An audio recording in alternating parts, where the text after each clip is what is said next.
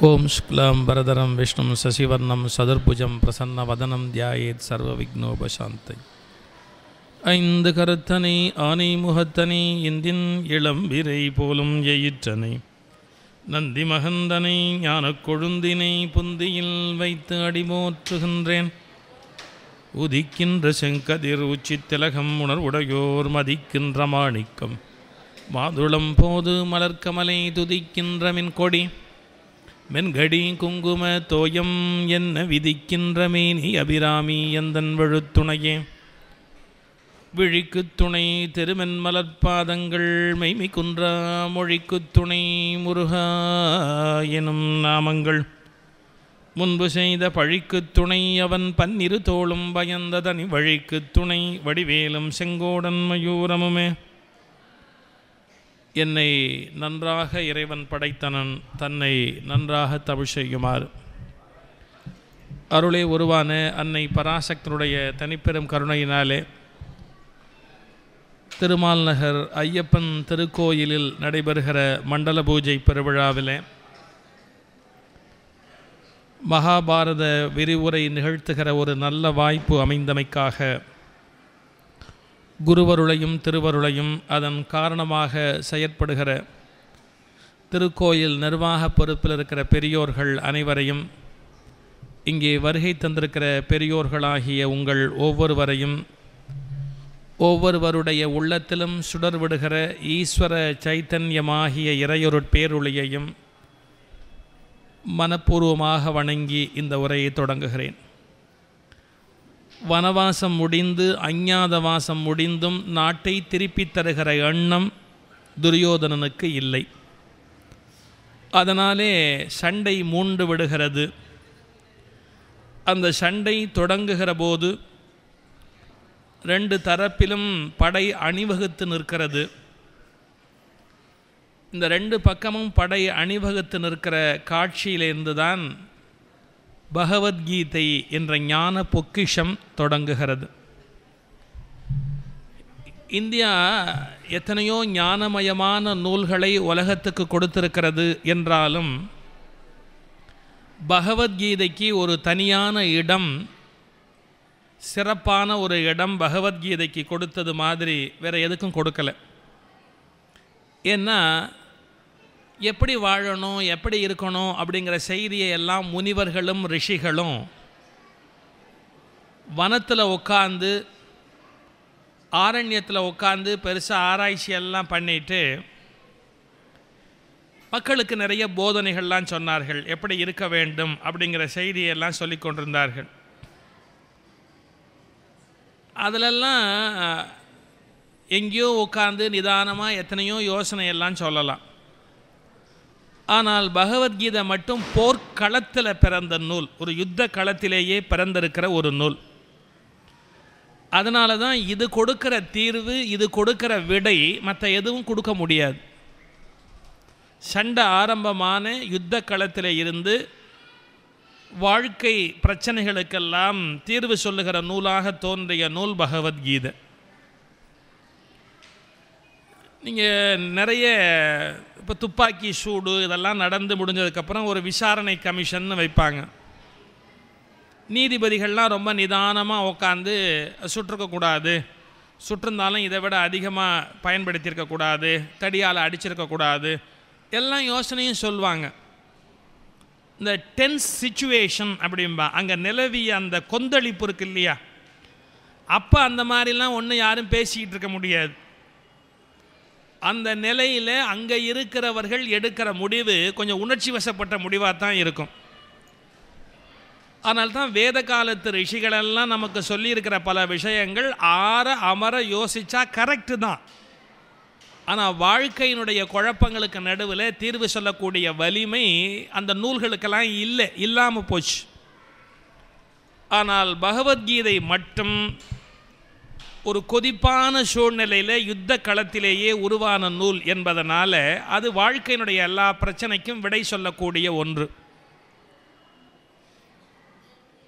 இன்றைக்கு கார்த்திகை தீப நாள் நல்ல நாள் அன்னைக்கு கீதையை சொல்கிற வாய்ப்பு ஒரு பொருத்தம்தான் இது ஒளியேற்றுகிற நாள். ஒளியேற்றுவதுன்னு சொன்னால் இது மாதிரி நாம் எண்ணெயை விட்டு திரியை விட்டு தீபம் ஒளியேற்றுறது ரொம்ப சுலபம்.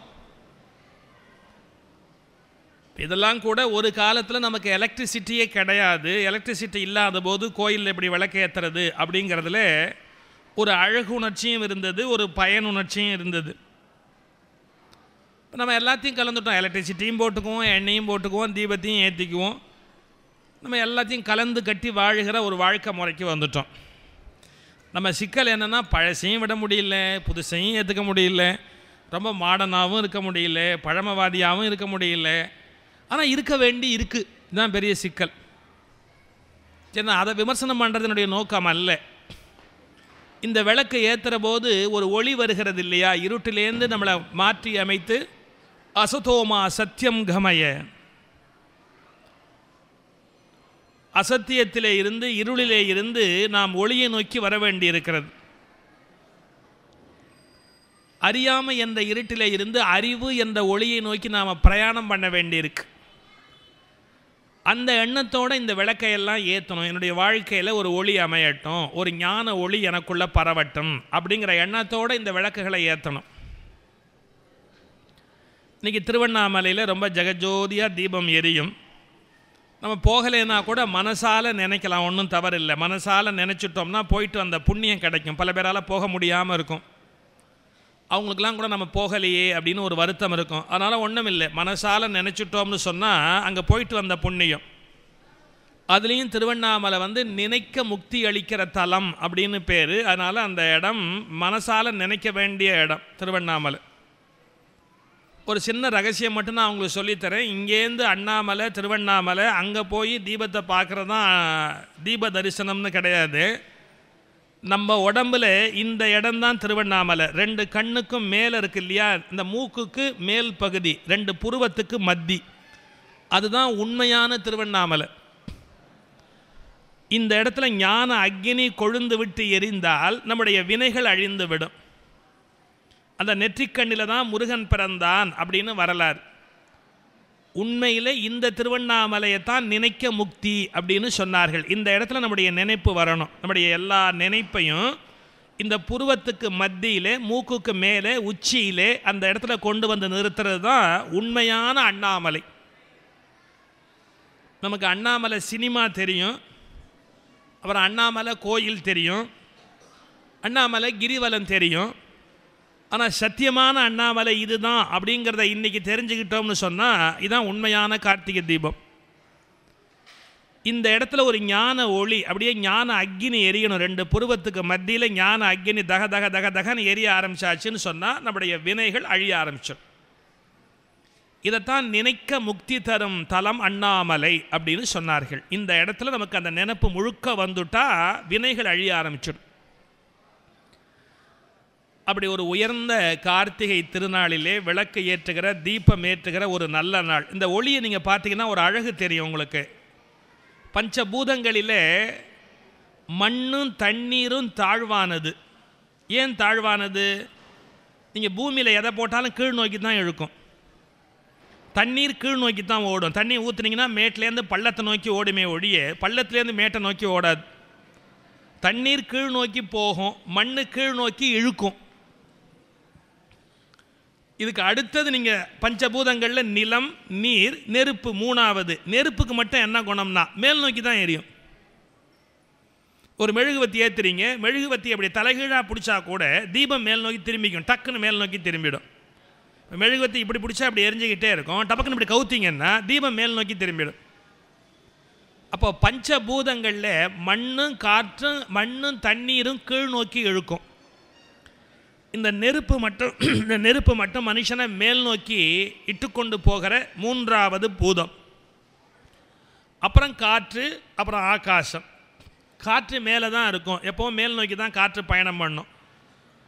ஆகாசம் இன்னும் உயரத்திலேயே இருக்கும். எனவே மனுஷன் இந்த ரெண்டு பூதங்கள்லேருந்து விலகி மேலே நோக்கி போகணும் அப்படின்னா மையத்தில் இருக்கிற மைய பூதம் இந்த நெருப்பு.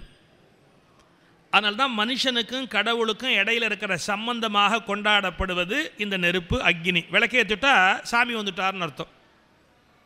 இந்த மனிதனிலே இருந்து தெய்வத்தை நோக்கி போகிறதுக்கான இணைப்பு பாலம் இருக்கு இல்லையா? ரெண்டையும் லிங்க் பண்ணுற நெருப்பு பாலம் தான் இந்த தீபம் கார்த்திகை தீபம். அதனால வெளியில் இப்படியெல்லாம் எண்ணெயை வச்சு நாம் அந்த விளக்கு ஏற்றுற போது எண்ணத்தை வச்சு ஒரு விளக்கு நாம் இன்றைக்கி ஏற்ற போகிறோம் அந்த விளக்குக்கு கீதை அப்படின்னு பேர். இன்றைக்கி இதை கேட்குறவங்க தயவுசெய்து வாழ்க்கையில் இதை சிந்திக்க ஆரம்பிச்சிங்க அப்படின்னா அவங்களுடைய வாழ்க்கை பெரிய மாறுதல் அடையும். கீதை எப்படி வாழணும் அப்படின்னு கற்றுக் கொடுக்குற ஒரு ஞான நூல். என்னுடைய ஒலி நாடாக்கள்லாம் இங்கே இருக்குது சிலது நீங்கள் கேட்டிருப்பீங்க வாங்கியிருப்பீங்க. அது வாழ்க்கையை எப்படி மாற்றி அமைக்கணும்னு சொல்லித் தருகிற பாடமாக இருக்கும். இது எல்லாத்தையும் விட சிறந்த பாடம் இன்றைக்கி நாம் கேட்க போகிற இந்த பகவத்கீதை. வாழ்க்கையை எப்படி நடத்தணும் அப்படிங்கிறத சொல்லிக் கொடுக்குற ஒரு ஞான நூல் பகவத்கீதை. முன்னுரை போதும்னு நினைக்கிறேன். இப்போ நான் நூலுக்குள்ளே வரணும். நான் ஏன் முன்னுரையே கொஞ்சம் நீளமாக சொல்கிறேன்னா கொஞ்சம் சத்தம் அடங்காதான்னு ஒரு ஆசை தான். தினம் நான் மட்டுமே போடுறேன். இன்றைக்கி எனக்கு துணைக்கு சேர்த்து ஒரு பத்து பேர் போடுறதுக்கு வந்திருக்கிறாங்க. இவர் ஒரு ஆள் மட்டுமே இங்கே சத்தம் போடுறாரு. நாமளும் சேர்த்து சத்தம் போடுவோன்னு புதுசாக ஒரு பத்து பேர் அவங்களும் சத்தம் போட்டுக்கிட்டு இருக்கிறாங்க. சரி முடிஞ்ச உடனே அதுக்கப்புறமா நாம் ஆரம்பிப்போமேங்கிறது தான் இவ்வளோ நீளமான முன்னுரை சொன்னேன். இது போதும்னு நினைக்கிறேன். ஏன்னா அவங்களும் அடங்குறதா தெரியல. அதுக்காக நானும் இதை தொட மேலே மேலே பேசிக்கிட்டு இருந்தால் சரியாக இருக்காது. விஷயத்துக்கு வந்து ஆகணும். இந்த கீதை எப்படி ஆரம்பமாகிறது அப்படின்னு சொன்னால் சண்டை களம். ஏழு அக்ரோனி சேனை அர்ஜுனன் பக்கம் பதினோரு அக்ரோனி சேனை துரியோதனம் பக்கம் இப்போ யுத்தம் ஸ்டார்ட் ஆகணும். இந்த யுத்த காட்சியை எல்லாம் சஞ்சயம் அப்படிங்கிறவன் திருதராஷ்டனுக்கு சொல்லி கொண்டிருக்கிறான் ஏன்னா திருதராஷ்டனுக்கு பார்வை இல்லை. ஸோ ரன்னிங் கமெண்ட்ரி அப்படியே லைவ் டெலிகாஸ்ட்டில் ரன்னிங் கமெண்ட்ரி சொல்கிற மாதிரி சஞ்சயன் திருதராஷ்டருக்கு சொல்லி கொண்டிருக்கிறேன் அப்போ என்ன நடக்கிறது அப்படின்னா அர்ஜுனன் கண்ணன் கிட்ட சொல்கிறான் கிருஷ்ணா என் தேரை கொண்டு போய் நிறுத்து. என் எதிரிகளெல்லாம் யார் யாருன்னு நான் பார்க்க ஆசைப்படுறேன். என் கையால் யார் யார் சாக போகிறா அப்படின்னு நான் தெரிஞ்சுக்கிறதுக்கு ஆசைப்படுறேன். கிருஷ்ணா என் தேரை கொண்டு போய் நிறுத்து. என் கையால் கொல்லப்பட போகிறவர்களை பார்த்து நான் சந்தோஷப்பட விரும்புகிறேன். என் தேரை அவர்கள் அருகிலே கொண்டு போய் நிறுத்து. நன்கு தெரியும்படியாக நிறுத்து அப்படின்னா. உடனே கண்ணன் அவனுடைய உத்தரவை அப்படியே தலைமையில் கேட்டு தேரை கொண்டு போய் கிரு கிரு கிருன்னு ஓட்டிகிட்டு போய் நிறுத்தி பீஷ்மர் துரோணர் எல்லாம் தெரிகிற இடத்துல கொண்டு போய் தேரை நிறுத்திட்டான். இப்போ என்ன சொல்லியிருக்கணும் நான் நல்லா பார்த்துட்டேன் கொல்ல போகிறேன்னு சொல்லணும். அர்ஜுன் ஆரம்பித்தான் ஹே கிருஷ்ணா என் எதிரில் தெரிகிற இந்த பீஷ்மர் என்னுடைய பாட்டனார் அல்லவா? நான் ஏதும் விவரமறியாத பிள்ளையாக இருந்தபோது என்னை வாழ்வித்தவர் எனக்கு வில் பிடிக்க கற்றுக் கொடுத்தவர் என் பாட்டனார் அல்லவா? அவரையா நான் கொல்ல வேண்டி இருக்கிறது கிருஷ்ணா? என்னாலே என் பாட்டனாரை கொல்ல முடியாதடா. அதோ நான் என்ன செய்ய வேண்டும் எப்படி செய்ய வேண்டும் என்ற எனக்கு வில் பிடிப்பதற்கு கற்றுக் கொடுத்த கிருபாச்சாரியார் அதோ துரோணாச்சாரியார் இவர்களெல்லாம் என்னுடைய ஆச்சாரியர்கள் என் குருநாதர்கள். இவர்களையெல்லாம் கொண்டு நான் எப்படி கிருஷ்ணா ஒரு யுத்தத்தை நடத்த முடியும்? இதை விட நான் பிச்சை எடுத்து காட்டிலே தெரிவது மேலானது என்று கருதுகிறேன். கண்ணா என் எதிரிலே நிற்கிற யாருமே எனக்கு எதிரியாக தெரியவில்லை கிருஷ்ணா. இவர்கள் அனைவரும் என்னுடைய உறவாளிகள் பங்காளிகள் என் சகோதரர்கள் என்னுடைய என்னுடைய உடன் பிறந்த உடன் பிறப்புக்கள் இரத்தத்தின் ரத்தம் என்னிலிருந்து பிரிந்தவர்கள் அவர்களிலிருந்து நான் பிரிந்தவன். என்னால் இவர்களை எல்லாம் விட முடியாதே கிருஷ்ணா. இவர்களை நான் எப்படி கொல்லப் போகிறேன்? என் கை நழுவுகிறது காண்டீபம் நழுவுகிறது என் உடம்பு காந்துகிறது. என்னாலே இந்த யுத்தத்தை நடத்த முடியாது கிருஷ்ணா. இப்படி உறவினரை கொன்று ஒரு ராஜ்யத்தை அடைவதை விட குறவரையும் ஆச்சாரியரையும் கொன்று ஒரு பதவிக்கு வருவதை விட காட்டில் போய் பிச்சை எடுப்பது மேலானது கிருஷ்ணா. என்னை விட்டுவிடு நான் போரை விட்டு விட்டு போகிறேன். இது எப்படிங்க இருக்கு? எல்லா ஏற்பாடும் பண்ணினதுக்கப்புறம் என்னை விட்டுவிடு நான் வெளியில் போகிறேன் அப்படின்னா இது நியாயமா முதல்ல?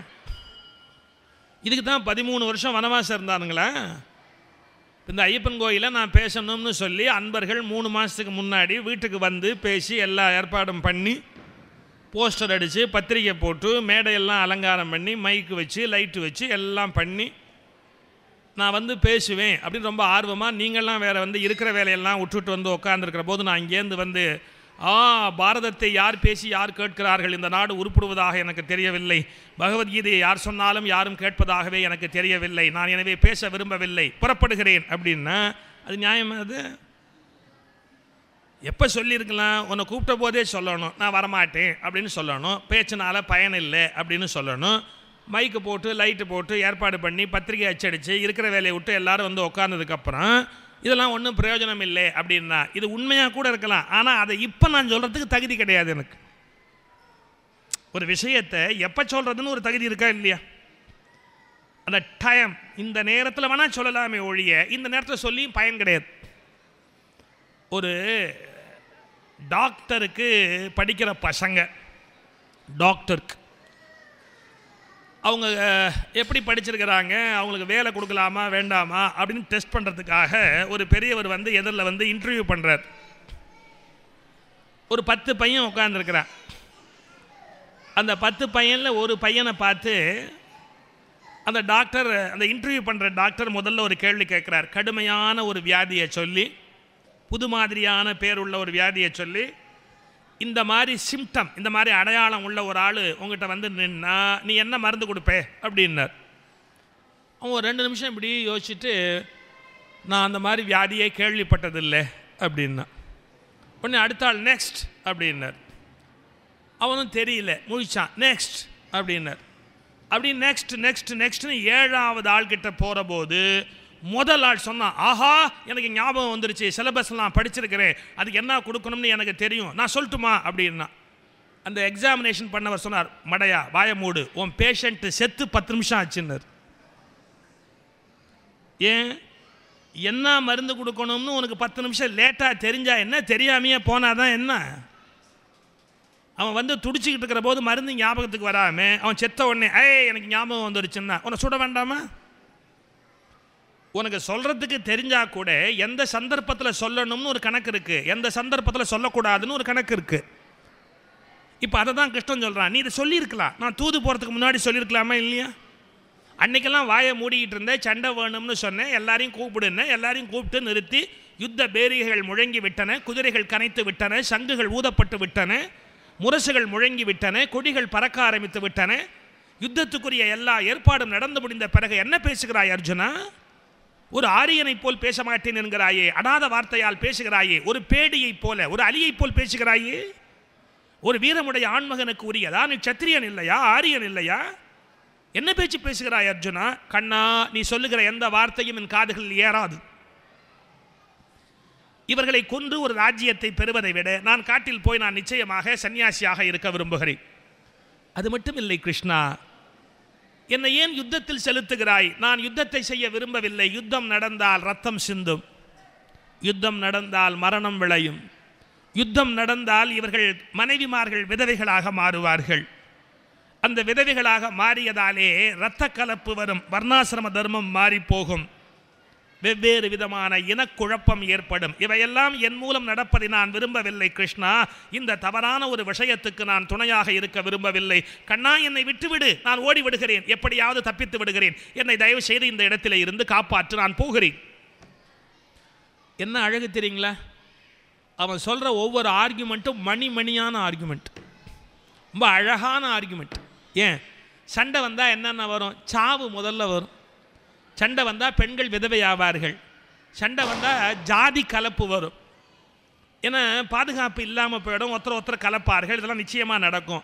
இவ்வளவு குழப்பமும் என்னால் ஏன் நடக்கணும்? நான் யுத்தம் வேண்டான்னு தானே சொல்கிறேன் நீ ஏன் என்னை யுத்தத்தில் கெடுக்கிற? யுத்தத்தில் ஏன் ஏவற? பதில் சொல்லு அப்படின்னா. இதெல்லாம் கேட்குற போது பார்த்தா ரொம்ப அருமையான ஆர்கியூமெண்ட் மணி மணி மணி மணியாக பேசுகிற மாதிரி இருக்கும். ஒன்று தெரிஞ்சுக்கங்க. நான் முதல்ல ஒன்று சொன்னேன். நீ சொல்கிற விஷயம் சரியாக இருந்தால் கூட சொல்கிற காலம்னு ஒன்று முக்கியம். இப்போ ரெண்டாவது நீ சொல்கிற விஷயம் சரியாக இருந்தால் கூட அதை சொல்கிறதுக்கு உனக்கு யோக்கியதை இருக்கான்னு கேட்கணும். அடுத்தது ஒரு விஷயத்தை ஒருத்தர் சொன்னார்னு வச்சுங்க. அதை சொல்கிறவனுக்கு அந்த யோகியதை இருக்கான்னு ஒரு கேள்வி கேட்பானா இல்லையா? யோகியதை இல்லாமல் சொல்லிக்கிட்டு இருந்தா? நூறு கொலை பண்ணிட்டு ஒருத்தன் சொல்கிறான் என்னன்னா கொசுவை கூட அடிக்கக்கூடாதுங்க. மகா பாவம்ங்க. அதெல்லாம் பண்ணக்கூடாதுங்கோ. அப்படின்னா ஏ மூடுறா முந்நூறு தலையை வெட்டியிருக்கிற நீ என்ன கொசு அடிக்காதுன்னு இந்த சபதம் பேசிக்கிட்டு இருக்கிற. எந்திர சொல்லுவானா இல்லையா? இன்றைக்கி அர்ஜுனன் சொல்கிறான் யுத்தத்தினாலே ரத்த கலப்பு வரும் இனக்கலப்பு வரும். எவ்வளவு யுத்தம் பண்ணியிருக்கான் அந்த பையன். சரி அந்த யுத்தத்தினால பெண்கள் விதவை ஆவார்கள் நீ இவ்வளவு நாள் எத்தனையோ பெண்களை விதவையாக்கு நீ அப்போல்லாம் உனக்கு அறிவு வரலையா? இப்போ வேண்டியவன் உறவுக்காரன் தன்னுடைய பங்காளி பங்காளி பொண்டாட்டி விதவையாவான உடனே மட்டும் இவ்வளோ தத்துவம் பேசுகிறானே ஐயோ இது ரொம்ப அக்கிரமமாக போய் முடியும்னு. யார் யாரையோ கொண்டானே அர்ஜுனே அப்போல்லாம் இந்த தத்துவம் எங்கே போச்சு? இப்போ நம்ம ஒரு நியாயம் பேசினா எப்போ நியாயம் பேசணும்? நமக்குன்னு ஒரு நியாயம் மற்றவன் மறுபோது நியாயம்னா இது என்ன நியாயம்? இன்னொரு உதாரணம் சொல்கிறேன் ஒரு ஜட்ஜு இது கற்பனையான ஒரு வழக்கு தான். ஒரு ஜட்ஜு எப்படின்னு கேட்டால் அவர்கிட்ட எவன் வந்து சிக்கினாலும் மேக்சிமம் பனிஷ்மெண்ட் உச்சக்கட்ட தண்டனை என்னவோ அதுதான் குறைச்செல்லாம் கிடையவே கிடையாது.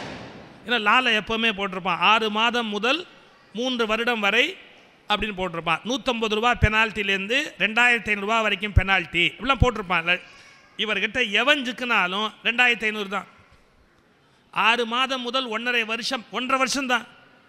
ஆறு மாதங்கிற பேச்சே கிடையாது. எல்லாம் ஹையஸ்ட் பனிஷ்மெண்ட் இவர். அதை விட எப்படின்னா மரண தண்டனை கொடுக்கறதுக்கு ஸ்கோப் இருக்குதுன்னு வச்சுங்க மரண தண்டனை தான்.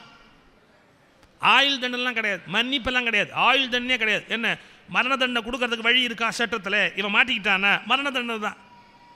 அதனால தான் அவருக்கு என்ன பண்ணிட்டான்? கொலகார நீதிபதின்னு பேரே வச்சுட்டான். எல்லாரும் சேர்ந்து அவருக்கு ஒரு பேரே வச்சுட்டான். கொலகார நீதிபதி அப்படின்னு ஒரு பேர் வச்சுட்டான். யார் வந்தாலும் மரண தண்டனை தான். மேக்சிமம் மரண தண்டனை என்ன? உண்டோ குற்ற வேண்டியது. அப்படிப்பட்ட ஆள். அவங்கிட்ட ஒரு நாள் ஒரு கேஸ் வந்தது. என்ன கேஸ்னா அவன் பையன் சிக்கிட்டான். ஒரு கேஸில் இது பையன் இருந்தால் அப்பா விசாரிக்க கூடாது. ஜட்ஜில் இன்னைக்கு அலோவ் பண்ண மாட்டாங்க. நான் சொல்கிறது ஒரு கற்பனை கதை. அதனால் அன்றைய சூழ்நிலையில் ஜட்ஜி விசாரிக்கிறாருன்னு வச்சுங்க. பையன் சிக்கிட்டான். அதை விட கொடுமை என்னென்னா சாட்சியெல்லாம் ரொம்ப கரெக்டாக இருக்குது அவன் தப்பு பண்ணியிருக்கிறாங்கிறதுக்கு சாட்சி எல்லாம் நிறைய இருக்கு. ஜட்ஜி வழக்க விசாரிச்சாரு. ஒன்றும் இல்லை கரெக்டாக தூக்கில் தொங்க விட வேண்டியது தான் ஆனால் பையன் எதிரில் நின்று அப்பாவை பார்த்து பரிதாபமாக அழுகுறான் ஜட்ஜ்மெண்ட் கொடுத்தாரு பாருங்க என்னன்னு மரண தண்டனை என்பது காட்டுமிராண்டித்தனமானது ஒரு மனித உயிரை எடுப்பதற்கு எப்படி அரசாங்கத்துக்கு அருகதை இருக்கிறது? ஒரு உயிரை நாம் அழித்து விட முடியும்? அந்த உயிரை நம்மாலே திருப்பித் தர முடியுமா? ஒரு நாய் ஒருவரை கடித்தது என்பதற்காக நாயை யாராவது திருப்பி கடிப்பார்களா? எப்படி ஆர்குமெண்ட் பாருங்க. ஒரு நாய் ஒருவரை கடித்தது என்பதற்காக அவரை திருப்பி கடிப்பார்களா?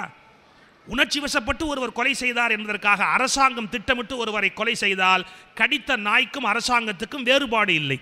அடேபா எனவே மரண தண்டனை என்பதே காட்டுமிராண்டித்தனமானது என்று கருதுகிறேன். மரண தண்டனையை அரசாங்கம் ரத்து செய்ய வேண்டும் என்று சிபாரிசு செய்கிறேன் அப்படின்னார். இவர் பையனை தூக்கில் தொங்க விடலை. மரண தண்டனையவே தொங்க விட்டார் தூக்கில். இப்போ இவர் சொன்னதில் ஏதாவது தப்பு இருக்குங்களா? ஒன்றும் தப்பு கிடையாது கரெக்டு தான். நாய் கடிச்சது நாயை திருப்பி கிடைக்கலாமா? அவன் யாரையோ கொலை பண்ணிட்டான்னு கவர்மெண்ட் அவனை கொலை பண்ணலாமா? பண்ணக்கூடாது எல்லாம் கரெக்டு மரண தண்டனை தப்புன்னு சொல்கிற ஆர்குமெண்ட்டில் இவர் சொன்ன விவாதம் ஒன்றுமே தப்பு கிடையாது. ஆனால் என்னன்னா அதை சொல்ல இவருக்கு ரைட்டு கிடையாது.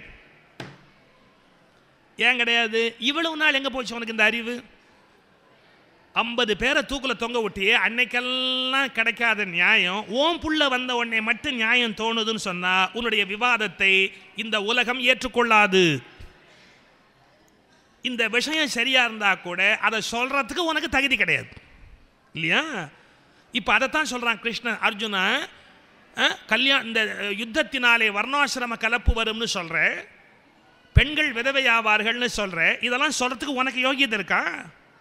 நீ எத்தனை யுத்தம் நடத்தியிருக்க இதே பூமியில்? எத்தனாயிரம் பேரை கொண்டு இருக்கிற அப்போல்லாம் நீ வாய மூடி மௌனமாக தானே இருந்த? இப்போ என்ன பேசுகிற கொல்லப்பட வேண்டியவன் உன்னுடைய உற்ற உறவினன்னு வருகிற போது மட்டும் உன்னால் கொல்லப்பட வேண்டியவனுடைய பாத்தியார் ஆசிரியன்னு வருகிற போது மட்டும் தத்துவம் பேசுறியா? மூடு வாயே எடு வில்ல காண்டிபத்தை கையில் எடு எதிரிகளை கொல்லுன்னு. கண்ணா என்னாலே முடியாது கண்ணா. இவர்களை எல்லாம் கொண்டு நான் வாழ்வதை விட என் மனம் எனக்கு இடம் தரவில்லை. ஐயோ இவர்களை நான் எப்படி கொல்லுவேன்? மரணத்தைக் கண்டு நான் அஞ்சுகிறேன். இவர்கள் சாவை கண்டு நான் பயப்படுகிறேன் கிருஷ்ணா. அப்ப கிருஷ்ணன் ரொம்ப அழகா ஒரு பதில் சொன்னான் அர்ஜுனா நீயா இவர்களை கொல்லப் போகிறாய்? நீ இவர்களை கொன்றுவிட முடியுமா? உன் வில்லிலிருந்து புறப்படுகிற ஒரு அம்பு பீஷ்மரையோ துரோணரையோ கொல்லும் என்று நினைக்கிறாயா? கண்ணா அப்படியானால் யார் கொல்வார்கள்? அர்ஜுனா இவர்கள் என்றைக்கு எப்போது எப்படி சாக வேண்டும் என்பதை நான் தீர்மானிக்கிறேனடா. நீ வெறும் கருவியாக இருந்து செயல்படுகிறாய். இவர்கள் மரண வாசலை மேலே திறந்து வைத்து விட்டுத்தான் நான் பூமிக்கே வந்திருக்கிறேன். நீ ஒரு கருவியாக இருக்கிறாய். அந்த கருவியாக இருந்து உன்னில் புறப்படுகிற அம்பு அவர்களை கொல்லுவது போல் உலகத்துக்கு தோற்றினாலும் கூட இவர்கள் என்றைக்கு கொல்லப்பட வேண்டும் எப்படி வீழ்ச்சியடைய வேண்டும் என்பதை நீ தீர்மானிப்பதில்லை அர்ஜுனா நான் தீர்மானிக்கிறேன். இந்த தெளிவும் இந்த அறிவும் இவ்வளவு காலம் பழகியும் உனக்கு வரவில்லையா? பரம்பொருள் தீர்மானிக்கிறான் ஒவ்வொரு விஷயத்தையும் இறைவன் தீர்மானிக்கிறானடா.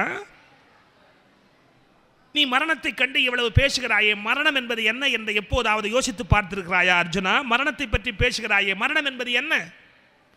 நம்ம எல்லாரும் பயப்படுறோம் சாவு வந்துருமோ சாவு வந்துருமோ அப்படின்னு பயப்படுறோம். சாவு பல பேர் அதான் பயப்படுறான் இவ்வளோ ஆஸ்பத்திரி ஏன் வந்திருக்கு?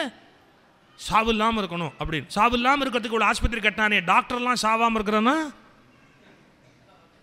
அவன் மற்றவனையும் அனுப்பிச்சுட்டு அவனும் போய்கிட்டே தான் இருக்கிறான். என்ன கொஞ்சம் காசு கீச்சு வாங்கி கொஞ்ச நாள் வச்சிருந்து அனுப்புவான். நீ நிம்மதியாக உயில் கீழ் கையெழுத்து போட வேண்டியது அது வரைக்கும் உன்னை வச்சிருந்து கையெழுத்தெல்லாம் வாங்கிட்டு அப்புறமா அனுப்புவோம். அது ஒன்று வேணால் டாக்டரால் முடியும். மரணம். எல்லாருக்கும் பயம். ஐயோ இறந்து போயிடுவோமோ இறந்து போயிடுவோமோ இறந்து போயிடுவோம். உண்மையில் மரணம் அப்படிங்கிறது என்ன? அது ஒரு சம்பவம். எப்படிப்பட்ட சம்பவம்? திருவள்ளுவர் சொல்கிறார் ராத்திரி போனால் வீட்டில் தூங்க மாட்டான்? ராத்திரி போய் வீட்டில் படுப்போம் தூங்கினா காலம்பரை எந்திரிப்போம்ல? உறங்குவது போலும் சாக்காடு உறங்கி விழிப்பது போலும் பிறப்பு. நம்ம மேல்நாட்டுக்காரனுக்கு நமக்கு இருக்கிற வித்தியாசம் என்னென்னா அவன் ஒரே பிறவின்னு நினைக்கிறான். இந்த பிறவி விட்டுட்டா இனிமேல் பிறவி கிடையாது. அதனால தான் எண்பது ஆனாலும் தொண்ணூறு ஆனாலும் நூறு ஆனாலும் சாவறதுக்கு அவங்க தயாரே கிடையாது. இன்னைக்கு அமெரிக்காக்காரனை ஒசாமா பின் லாடன் ஆட்டி வைக்கிறானே அவன் என்ன சொல்கிறான் நாங்கள் மரணத்துக்கு தயாராக இருக்கிறோம் அமெரிக்காக்காரன் மரணத்துக்கு தயாராக இல்லைன்னு. அதான் உண்மை. அமெரிக்காக்காரன் எதுக்கு ரொம்ப பயப்படுவான்னா செத்துருவோமோன்னு பயப்படுவான். ஏன் செத்துட்டா மறுபிறவி உண்டுங்கிறதெல்லாம் அவனுக்கு நம்பிக்கை கிடையாது. அவனுக்கு அந்த தேரி தெரியாது. அவன் என்ன பயப்படுறான்? இது வரைக்கும் தான். இது இந்த இந்த பிறவியோடு சரி. அப்புறம் போயிட்டா ஒன்றும் இல்லாமல் போயிடுமே. அப்படி கிடையாது. ராத்திரி தூங்கணும். தூங்குற போது நம்ம எங்கே இருந்தோம்? தூங்குற போது எதாவது தெரிஞ்சுதா? என்ன நடந்தது? ஏது போச்சு? எதாவது தெரிஞ்சுதா? ஒன்றும் தெரில. காலம்பரம் எந்திரிச்சு உட்காந்துட்டோம் அப்படி தூங்கி எந்திரிக்கிற மாதிரி ஒரு பிறவி முடிஞ்ச உடனே எங்கேயோ கொஞ்சம் காணாமல் போவோம். மறுபடியும் இந்த பூமிக்குள்ளே வந்துடுவோம் மறுபடியும் காணாமல் போவோம். மறுபடியும் இந்த பூமிக்குள்ளே வந்துடுவோம் தூங்குறதுக்கு யாராவது வருத்தப்படுவோமா? தூங்குறதுக்கு வருத்தப்படுறது இல்லை அதுபோல் மரணத்துக்கு வருந்துவது என்பது அறிவீனம். இது வந்து இந்தியன் ஃபிலாசபி உலகத்துக்கு கொடுத்துருக்கிற உன்னதமான ஒரு கொடை. மரணம் என்பது ஒரு உறக்கத்தை போல இதில் அஞ்சுவதற்கு எதுவும் இல்லை. அப்படின்ட்டு ஆத்மாவை பற்றி ஆன்மாவை பற்றி அதனுடைய இயல்பு பற்றி இதையெல்லாம் தெளிவாக பேசுகிறான் கிருஷ்ணன்.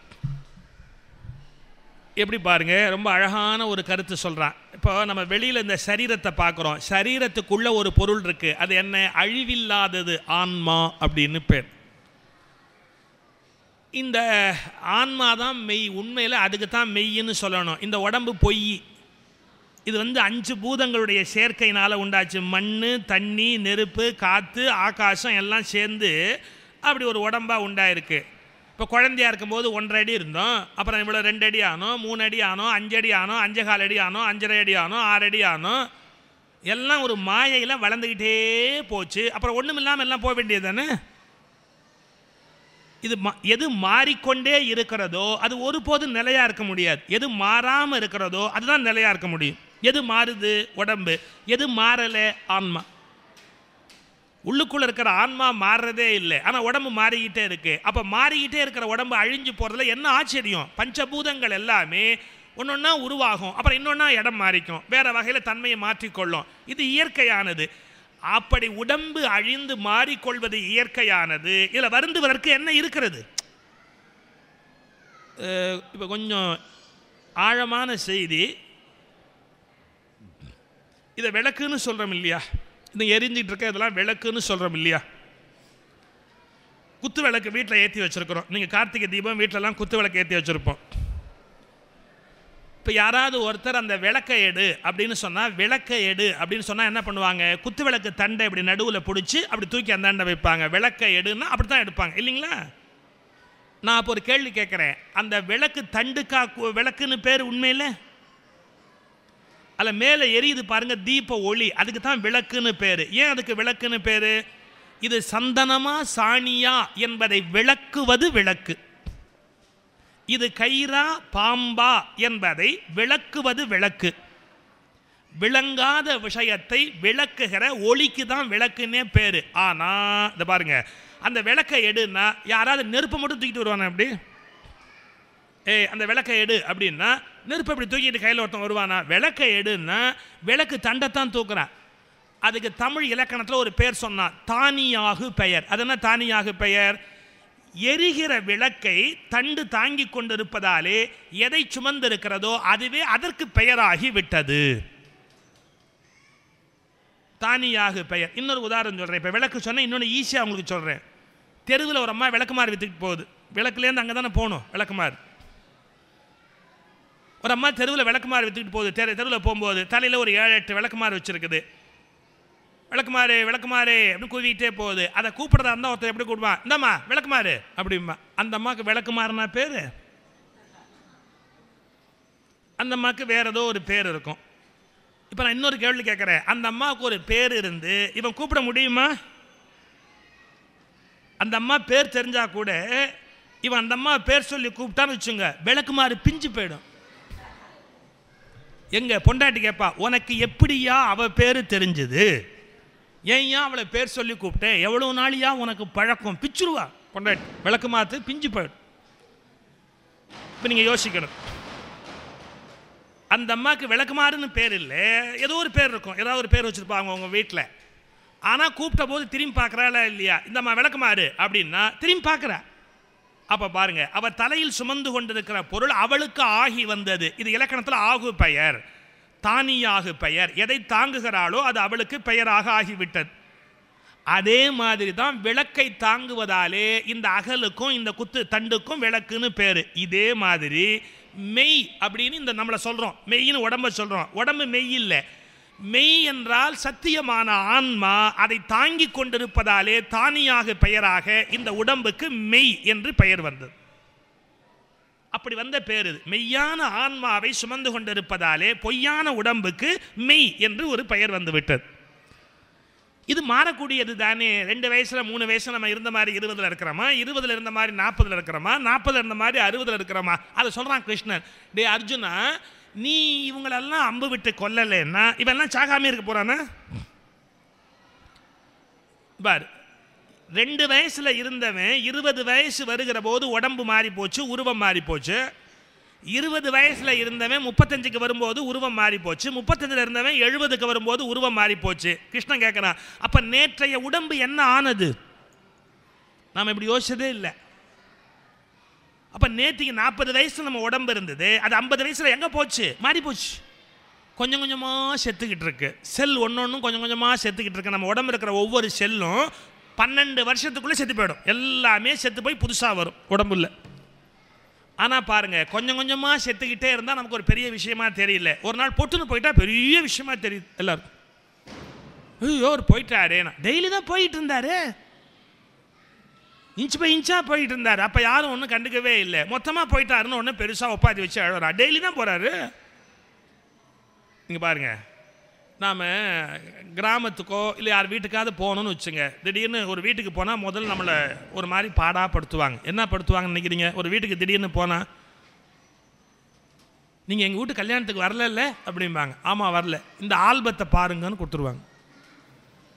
எவன் வீட்டு கல்யாண ஆல்பத்தை பார்த்து நமக்கு என்ன சந்தோஷம் இருக்குது இன்னைக்கு ஒன்று சொல்கிறேன் பாருங்கள் நம்ம மூஞ்சி இல்லாத ஒரு ஃபோட்டோ ஆல்பம் பார்த்தா என்ன? பார்க்காட்டி என்ன? எவன் மூஞ்சி எப்படி இருந்தால் நமக்கு என்ன? நம்ம ஜனங்களுக்கு அந்த இங்கிதமே தெரியாது. நல்லா இவ்வளோ பெரிய ஒரு ஃபோட்டோ ஆல்பம் அதை திறக்கிறதுக்கு ரெண்டு பேர் வேணும். அட்டை இல்லை அந்த புருஷன் பொண்டாட்டி பெரிய படத்தை போட்டு அதை பிடிச்சி திறக்கிறதா இருந்தாலே ஒரு ரெண்டு ஆள் வேணும். அது மாதிரி ஒரு பெரிய ஆல்பத்தை கொண்டாந்து நீங்கள் பார்த்துக்கிட்டு இருங்கோ காப்பி போட்டு வரோம். அது அடுத்த ஆபத்து. போயிடுவேன். நம்மால் கொத்து கொத்தாக திருப்பான். ஒரு அஞ்சாறு பக்கத்து சேர்த்து சேர்த்து திருப்புவேன். அது என்ன திருப்பினாலும் அரை மணி நேரம் ஆகும். அவ்வளோ இருக்கும். சில பேராவது பரவாயில்ல ஃபோட்டோ ஆல்பத்தை கொடுக்குறான் சில பேர் வீடியோவை ஆன் பண்ணி பாருங்கன்றுவான். அடே பாவி. அது மூணு மணி நேரம் ஓடுமேடா பாவி. அது பாட்டுக்கு ஓடிக்கிட்டே இருக்கும். அந்த வீட்டு கல்யாணம். இதை விட கல்யாணத்துக்கே போயிருக்கலாம். ஏன்னா விருட்டில் ஏஞ்சி வெளியேவாது வந்திருக்கலாம். இது என்ன பண்ணி தொலைக்கிறது? நீங்கள் ஃபோட்டோ ஆல்பத்தை இல்லை ஃபோட்டோ பிரிண்ட் நீங்கள் ஓட விட்டு பார்த்தா எது சுவாரஸ்யம்? நம்ம மூஞ்சி இருந்தால் தானுங்களே சுவாரஸ்யம். இதெல்லாம் ஒத்துக்கும் உண்மை மனதிறந்து பேசுவோமே. இப்போ ஒரு சின்ன உதாரணத்துக்காக சொல்கிறேன் ஒரு கிராமத்துக்கு ஒரு பையன் போகிறான் அந்த வீட்டில் ஃபோட்டோ ஆல்பம் கிடக்குது. பழைய ஆல்பம் இருக்குது அவங்க வீட்டு ஆல்பம் அது இப்படி புரட்டி பார்க்குறான் பாட்டிகிட்ட கேட்டான் பாட்டி பாட்டி இங்கே ஒரு கருங்குரங்கு மாதிரி ஒன்று உட்காந்துருக்கே இது யாருன்னா? நான் கருங்குரங்கு மாதிரி ஒன்று உட்காந்துருக்கே இது யாரு? பாட்டி சொன்னேன் அது யாரு நான் கேட்குற அதான் உங்கள் அப்பேன். என்ன பாட்டி இவ்வளோ அசிங்கமாக இருக்கிறாரு? ஐயோ அதுக்கு ரெண்டு வருஷம் முன்னாடி அதை விட அசிங்கமாக தான் இருந்தான். அப்புறம் தான் கொஞ்சம் பூசினாப்புல பார்க்குறாப்புல இருக்கிறான். நிஜமாவா பாட்டி அப்படின்னு. பாட்டி அடுத்த கேள்வி கேட்டா நீ உன்னை கண்ணாடியில் பார்த்ததே இல்லையா? ஏன் நீ இப்போ கருங்குரங்கு மாதிரி தான் இருக்க. இன்னும் ஒரு அஞ்சாறு வயசு ஆனால் தான் நீயும் பூசினாப்புல பார்க்குறாப்புல இருப்ப அப்படின்னு. போ பாட்டி நான் ஒன்றும் இப்படி இல்லை நான் பர்சனாலிட்டியாக இருக்கேன். அப்படி தான் உங்கள் அப்பன்னு சொல்லிக்கிட்டு தெரிஞ்சான். பாட்டி இது நிஜமாவே அப்பாவா? அப்படின்றான். பாட்டி இது நிஜமாவே அப்பாவா? நிஜமாவே அப்பா அப்புறம் என்ன பொய்யா என்ன அப்பா? நிஜமாவே அப்பா தான் ஆ இப்போ நான் கேட்குறேன் பதினஞ்சு வயசில் அப்பாவுடைய படத்தை பார்த்தா பையனுக்கு ஆச்சரியமாக இருக்குது இப்போ அவன் பார்க்குற நாற்பது வயசு அப்பா வேற மாதிரி இருக்கிறாரு. பதினஞ்சு வயசு அப்பா வேறு மாதிரி இருந்திருக்கிறாரு. இப்போ நான் கேட்குற கேள்விக்கு தான் பதினஞ்சு வயசில் ஒரு அப்பா தெரிகிறாரு அவர் நாற்பது வயசு ஆன போது வேறு ஆள் மாதிரி தெரிகிறாரு இந்த பதினஞ்சு வயசு உடம்பு எங்கே போச்சு? அவருடைய அமைப்பு எங்கே போச்சு? செத்து போச்சு. அதை தான் கவிஞர் அப்துல் ரகுமான் ஒரு கவிதையில் எழுதியிருந்தார். அருமையான ஒரு வார்த்தை எழுதியிருந்தார். என்னன்னா புகைப்பட ஆல்பத்தில் நாம் பார்ப்பது நம்முடைய பழைய படங்கள் அல்ல நம்முடைய பழைய படங்கள் அல்ல பழைய பிணங்கள். நம்முடைய பழைய பிணங்கள். சார் நேற்றுக்கு நம்ம இருந்த மாதிரி இன்னைக்கு இல்லை இன்றைக்கி இருக்கிற மாதிரி நாளைக்கு இல்லை. உடம்பு மாறிக்கிட்டே இருக்குது எல்லாத்துலேயும். ஒவ்வொரு நாளும் செல் மாறுது. இவை மரணம் என்பது நமக்கு புரியலை. ஐந்து பூதங்கள் அழிந்து கொண்டே இருக்குது சேருது அழியுது சேருது அழியுது சேருது அழியுது. ஆனால் நம்ம என்ன சொல்கிறோம் உயிர் பிரிஞ்ச ஒன்று பெருசாக கூச்சல் போட ஆரம்பிச்சிட்டோம். எனவே மரணம் என்பது நித்தியம் நடந்து கொண்டிருக்கிற ஒரு சரக்கு. இதைத்தான் கிருஷ்ணன் கேட்குறான் அர்ஜுன என்னமோ பெருசாக நீ அம்பு விட்டவன் ஜாக போறாங்கறியே. அவன் என்ன டெய்லி சகாமியா இருக்கிறான்? இது இயற்கைடா. இது உருமாறிக்கொண்டே போய் ஒன்றுமில்லாமல் போகக்கூடியது சரீரத்தோட இயல்பு. இது குறித்து வருந்துவதற்கு என்ன இருக்கிறது? யோசித்தாயா? ஏன் வருந்துகிறாய்? அர்ஜுனுடைய ஐ ஓப்பனர் கண்களை திறந்து வைக்கிறான் பகவான். என்னன்னா மரணம் என்பது என்ன? அப்படிங்கிற ஒரு அறிவுரையை சொல்ல ஆரம்பிச்சான். நீ ஆத்மாவை குறித்து கவலைப்படு அர்ஜுனா. ஆன்மா அழிவதில்லை ஆன்மா சேதிக்கப்படுவதில்லை ஆன்மா நெருப்பால் எரிவதில்லை தண்ணீரால் நனைவதில்லை காற்றால் உலர்வது இல்லை. அது எந்த விதமான பாதிப்பும் அடையாதது. சரீரம் எல்லாம் அடைகிறது ஆன்மா எதுவும் அடைவதில்லை. நம்ம கண்ணால் பார்க்காததாலேயே ஆன்மாங்கிறது நமக்கு தெரிய மாட்டேங்குதுங்க.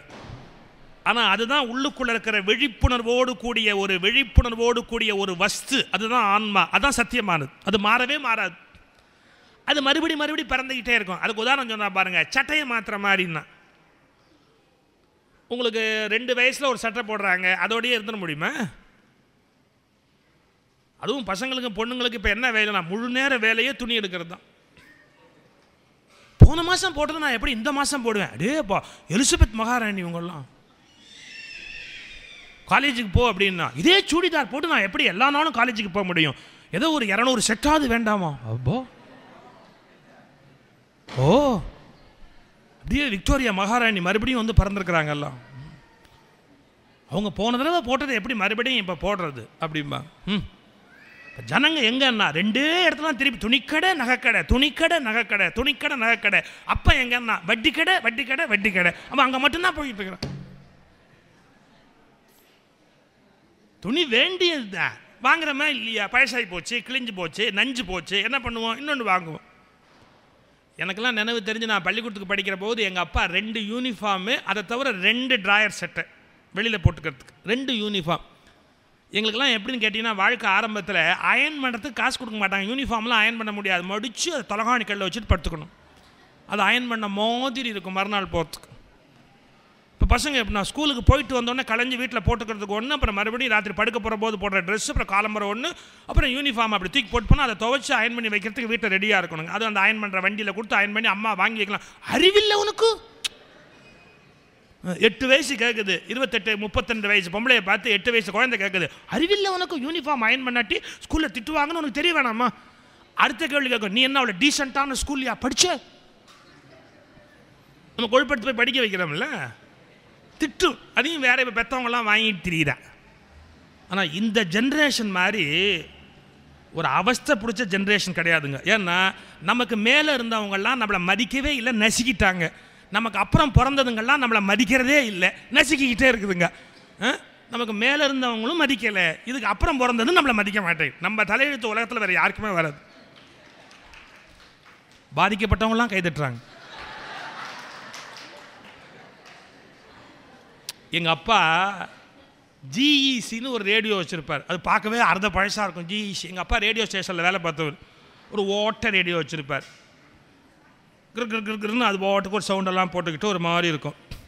எப்போவோ ஒரு தடவை எங்கள் அப்பா இல்லைன்னு நினச்சி நான் திருட்டுத்தனமாக அதை ஆன் பண்ணிட்டேன் அந்த ரேடியோ அப்பா இல்லை எங்கேயோ போயிருக்கிறா நினச்சி ஆன் பண்ண நொங்குன்னு குட்டினார் பாருங்கள் தலையில். எனக்கு இன்னும் அந்த குட்டு மறக்கவே மறக்கா ரேடியோவே தொடுவியா ரேடியோவை. கெடுத்துருவ பாவி எந்திரி அப்படின்ட்டு. ரேடியோவை தொடர ரேடியோவை தொடர ஒரு குட்டு குட்டிட்டார் அலேறி அடிச்சு அழிஞ்சு விட்டேன். ச்சே நமக்கு இனிமேல் ரேடியோவும் வேணாம் ஒரு மண்ணு வேணாம். அப்பா குட்டின கொட்டு. இப்போ இருபதாயிரம் ரூபாய் செலவு பண்ணி எல்லாம் எடுக்கிற மாதிரி ஒரு டிவியை வாங்கி ஒரு ரிமோட்டையும் வாங்கி அன்றைக்கி ஒரு நாள் வச்சுவிட்டு அதை ஆன் பண்ணலான்னு நான் பட்டன் இப்படி ஆன் பண்ண போகிறேன் என் பொண்ணு வரா அப்பா கெடுத்துருவேன் நீ கொண்டா நீ. உனக்கு தெரியாது. நீ பாட்டுக்கு இஷ்டத்துக்கு எதாவது பண்ணி கெடுத்துருவேன் உனக்கு என்ன சேனல் வேணும்னு சொல்லு. நீ என்ன பார்க்க நியூஸ் பார்ப்பேன் வேற என்னத்தை பெருசாக பார்த்துட போகிற நீ பேசாமல் என்ன கேளு. அனாவசியமாக தொட்டு கெ- கெடுத்து வச்சிடாது எப்படி? அன்னைக்கு அப்பா குட்டினாரு. இவ குட்டலையே ஒழிய. அன்னைக்கும் ரேடியோவை தொடலை. இன்னைக்கும் டிவியை தொடலை. நமக்கு அவ்வளோதான் உரிமை. ஒரு தலைமுறை மாறுற போது காலகட்டம் மாறுற போது எவ்வளவு துன்பப்பட வேண்டியது தெரியுமா? எங்களுக்கு இன்னும் மனசு இருக்க. பெரியவங்களை மதிக்கணும் மரியாதையாக இருக்கணும் பெரியவங்க வந்தால் எந்திரிச்சு நிற்கணும் அவங்க காலில் விழுந்து கும்பிடணும் அவங்க மனசு நோகாமல் நடந்துக்கணும். அம்மா தப்பாகவே சொல்லுவா. அம்மா வந்து உளருவா சில சமயத்தில் அப்பா உளருவார் தப்பாகவே சொல்லுவார். எதிர்த்து பேச முடியாது. ஏ வளர்த்தவங்க இவ்வளோ காலம் பாசம். இப்போ அப்படி கிடையாது. அப்படியெல்லாம் பயந்து நாங்கள் வளர்ந்தா இதுங்க என்ன? எதிர்த்து பேசுகிறத தவிர வேறு வேலையே இல்லைங்க. சும்மா இருப்பா. அவனுக்கு ஒன்றும் தெரியாது. அதை விட சொல்லுவா என் பொண்ணு சொல்ல நீ வேணா வெளியில் போய் பேசுப்பா எல்லாம் சிரிப்பாங்க கை தட்டுவாங்க. வீட்டில் பேசாமல் இரு.